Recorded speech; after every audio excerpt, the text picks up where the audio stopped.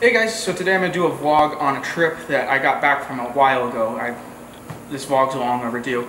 It was on my Detroit trip that I went on with the Checkered Flag 200, which is a car club from the Petersen Automotive Museum up in LA. So this trip was happening in the same weekend as the St. John's Motor Concours in Michigan as well. So we were able to go to that, but we also had a lot of other fun things in store that we did. And one of them was having dinner the first night we got there at the Henry Ford Museum. Now, if you don't know the Henry Ford Museum, you're missing out. They've got some of the greatest cars in the world. Bugatti Royale, GT40 that won Le Mans, the last GT that just won Le Mans in 2016, but also a lot of other amazing things, such as the bus that Rosa Parks was on, trains, planes, technology pieces, a lot of cool stuff. So that was the first night. That was fun. Next morning, we go to several great museums and collections. The Lingenfelter collection, uh, another private collection, which I'm showing you right now, beautiful. And then another private collection. So three collections, a restoration shop. That was all on the second day. That was Friday, I believe. I forgot to mention that we also went to the M1 Concourse, which was a killer racetrack slash garage setup deal.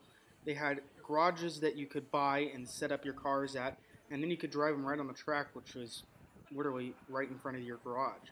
And while we were there, they were racing the GT350R, the Chevrolet Camaro ZL1 1LE, and then the new Dodge Hellcat Challenger. So that was pretty neat as well. Saturday, we went up to the Roush plant where they actually produce. Now, I didn't realize this, but I thought Roush was just like a Shelby, a Carroll Shelby, or a Saleen, that type of a thing, where they just did performance. That was that was it. I was wrong. They have over 5,000 employees. They do working, engineering working for all three of the big three companies in Michigan. Obviously, if you don't know that, it's Chrysler, GM, and Ford. But they also do parts for them. They do military contracts. So it's not just a little company that you think of with the racing cars, the performance cars. But anyway, the performance line where we were, that was really cool to see. Working on uh, F-150s, the Mustangs, and then after that, we went to the actual collection, the museum. It's kind of a little dirty, but if you looked at the cars, had some amazing cars. Had the brand new Ford GT in there. Had the car that started it all, the special.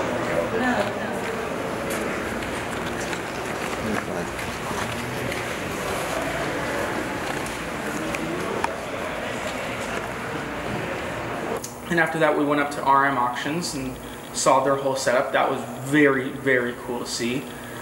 They'll probably be winning Pebble Beach in the next year or so. Just keep that in mind.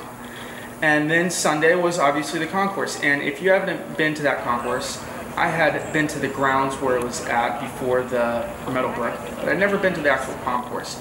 And this was obviously the first time I was at the grounds for St. John's. By far one of the coolest concourses in the country, and I would say probably in the world. I think it's the top three. Obviously, Pebble Beach is number one in the world and number one in the U.S. Amelia Island is a strong second for the U.S., but I think the St. John's Concours is definitely the number three spot. And it was great. They had a section for winning for American and then an exotic. So the American car was this beautiful stud, gorgeous. And then the European, the exotic car class that won Best of Show. So the car that won Best of Show in 2016 at Pebble Beach, also won Best of Show here for uh, the exotic car class. It was an Isotta Fraschini, amazing, drop deck, gorgeous car. But if you guys haven't, if you were going to Michigan or Detroit area, there's a ton of car stuff to do. It's not just, there's a whole lot more, I should say, than what you'd think.